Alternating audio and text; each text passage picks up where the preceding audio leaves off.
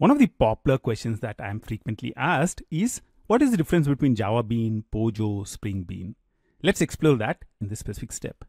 I've already created a very, very simple class. You don't really need to do everything that I do in this specific step.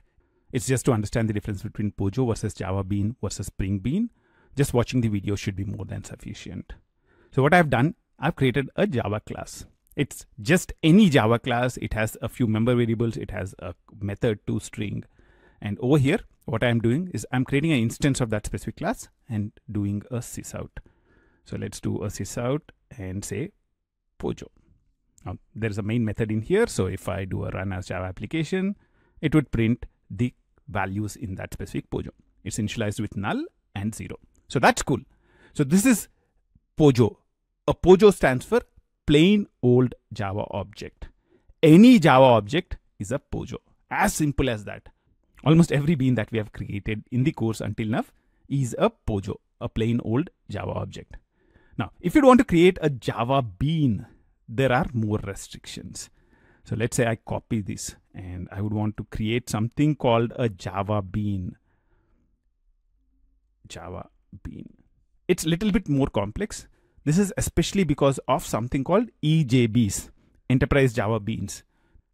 If you go back 15 years, EJB was one of the popular approaches or one of the popular architectures to implement Java applications. Not a lot of people use it right now. So EJBs were popular earlier and EJBs introduced this concept called Java Bean.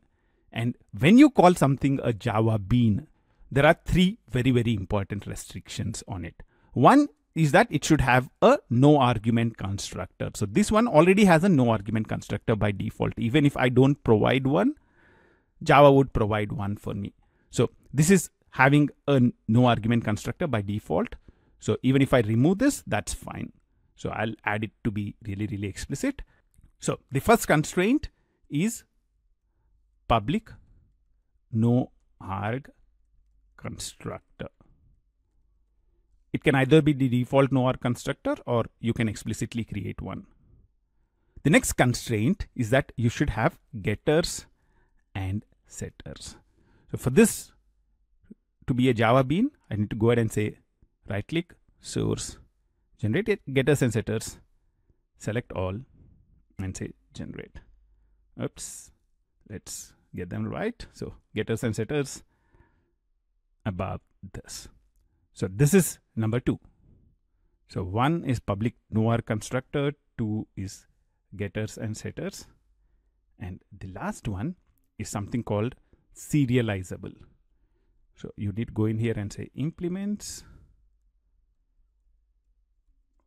serializable. And serializable is an interface. If a class wants to be serializable, it can go ahead and implement this specific interface. As you can see in here, if I open up serializable, there are no methods which are present in here. So you just need to declare that it implements serializable. Now, whatever we are seeing in here is what is a Java bean. So if a class contains a public no argument constructor, if you have getters and setters, and if you are implementing serializable interface, then an instance of your class will become a Java bean. To be really, really frank, the concept of Java bean is not really, really important anymore because not a lot of people are making use of enterprise Java beans. The two important concepts that you need to worry about are POJOs that's basically any class that we are creating in here. And Spring Beans. In last few steps, we have launched up a Spring context. And inside Spring, we have created a number of beans. All these are what are called Spring Beans. So anything that is managed by Spring Framework is what is called a Spring Bean. Now that we have a little bit more background into Pojo, Java Bean, and Spring Bean, let's compare them. So a Java Bean is nothing but any class that adheres to three constraints. It has a public default constructor, a no argument constructor. It allows access to its properties using getter and setter methods.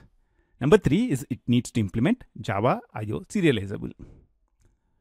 Pojo classes don't have any constraints. Any Java class, if you go ahead and create it, it becomes a plain old Java object. No constraints at all. And any Java object is a Pojo. Spring Bean is any Java object which is managed by Spring. As we saw earlier, Spring uses IOC container, a bean factory or application context to manage the objects. Any object which is managed by the IOC container is a Spring Bean. In this step, we talked about the differences between Java Bean, Pojo, and Spring Beans. I'm sure you're having a wonderful time, and I'll see you in the next step. I'm sure you had a great time watching this video. Think about this for a minute. What are the different things you should learn to be a great Spring and Spring Boot developer? The fundamentals of Spring Framework, Spring Boot, Hibernate JPA, and various Spring modules out there. And learning to build variety of applications, a web application, a REST API, maybe a full stack application with React. In addition, you'd also want to learn unit testing. And after that, you'd want to learn how to containerize all these kind of applications with Docker. And how about deploying these applications to the cloud? Let's pick up AWS, the number one cloud platform today. Do you think this is a great roadmap for Java learners to follow? What if you can learn all these things in just one course? Yep, that's true. All these in just one course. Wouldn't it be awesome? Wouldn't it be a dream come true? Thousands of learners are already learning from this amazing course. You can join them right now. You can find a link to the course on our website www.in28minutes.com. Keep learning every day keep learning in 28 minutes. Until I see you again, here's bye from Ranga at In 28 Minutes.